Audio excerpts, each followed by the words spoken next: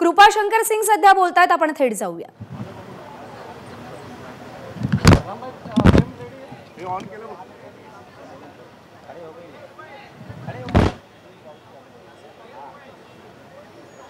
अरे मोबाईल येतो मध्ये बाळा. तू तिकडनं जा ना तिकडनं तिकडनं योगेश तिकडनं रेडी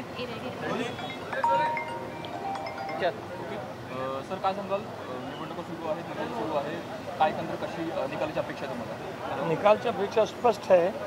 भारतीय जनता पक्षाचे तिन्ही राज्यसभाचे उमेदवार जे आहेत ते तिन्ही विजयी होतील असा पूर्ण विश्वास आहे. मात्र काँग्रेस आणि राष्ट्रवादीने आपला कोटा वाढवला आहे शिवसेनेचे जे आमदार आहेत, शिवसेनेच्या कोटात थोडीशी चिंता आहे असं वातावरण सध्या तरी एम आय एफने काँग्रेसला पाठिंबा देण्याचं निश्चित केलेलं आहे. महाविकास आघाडीसोबत कसं बघता या सगळ्या राजकीय सगळे राजकीय घडामोडी नंतर सुद्धा मी सांगतो की भारतीय जनता पक्षाचे तिन्ही राज्यसभा उमेदवार सन्मानी पियुषजी सन्मानी अनिलजी सन्मानी धनंजय मांडेजी तिघे विजयी होतील. पण एम आय एमने महाविकास आघाडीला पाठिंबा देणं याकडे कसं बघताय? कारण एम आय एमने यापूर्वी म्हणलं आम्हाला अजून निमंत्रण आलेलं नाही चर्चेसाठी कोणी बोलावलेलं नाही.